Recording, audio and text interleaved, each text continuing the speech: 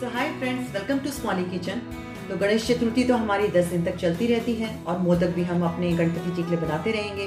तो आज हम बना रहे हैं बच्चों के लिए हाइड एंड सीख वाले इंस्टेंट बनने वाले मोदक। तो आज हम बनाएँगे हाइड एंड सीख के मोदक। मैंने एक पैकेट लिया है इसे और इस पैकेट को मैं बिस्किट्स निकाल कर पीस लूँगी ब्लेंडर में। अब इसे मैंने पीस लिया है और एकदम ये पाउडर हो गया, देख सकते हैं आप। बहुत अच्छा फाइन पाउडर बन जाता है इसका। अब इस पाउडर के अंदर मैंने फ्रेश एक चम्मच ली है मलाई और एक चम्मच ली है दूध। इसे हम डालेंगे। और इसे अच्छे से मिक्स कर लेंगे। अब ये हमारा स्मूथ डो रेडी हो गया है। इसे हम थोड़ा सा और फिनिशिंग कर लेंगे और अच्छे से इसको, हाथ से इसको प्रेस कर लेंगे ताकि ये और अच्छा स्मूथ हो जाए।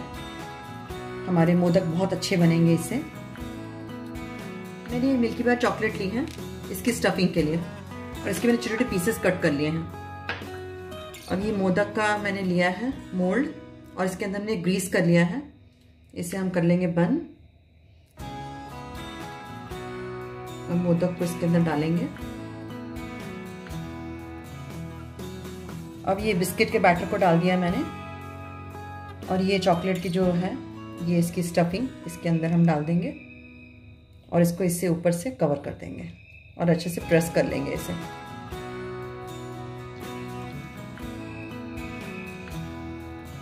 अब देख सकते हैं, अंदर से भी अच्छे से ये कवर हो गया है, नीचे की तरफ़ से। और इसे हम ओपन करेंगे।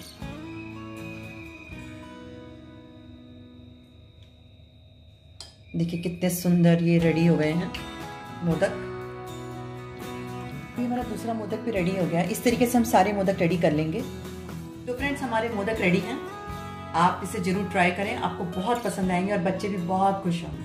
आपको मेरी वीडियो अच्छी लगी तो प्लीज़ लाइक करें, अपने फ्रेंड्स के शेयर करें, मेरे चैनल को सब्सक्राइब करें। नोटिफिकेशन पाने के लिए बेल का आइकन ज़रूर दबाएँ। Thank you so much